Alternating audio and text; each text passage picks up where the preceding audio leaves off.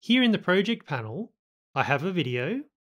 Let's drag it onto the timeline to create a new comp. To trim the start of the video, just drag the left edge.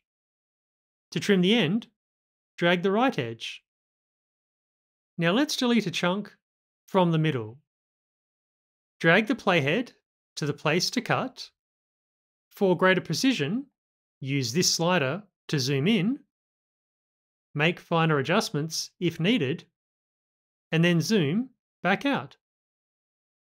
With the layer selected, Edit, Split Layer. Note it has a keyboard shortcut, which we'll use later. And we have successfully split the video. Let's make that second cut. Move the playhead, make fine adjustments if needed, make sure the video is selected. Let's now split using the keyboard shortcut, holding down the Shift key and the Command or the Control key, tap the D key. Selecting the now separate chunk, press the Delete key to get rid of it. No need to zoom in to perfectly align these layers.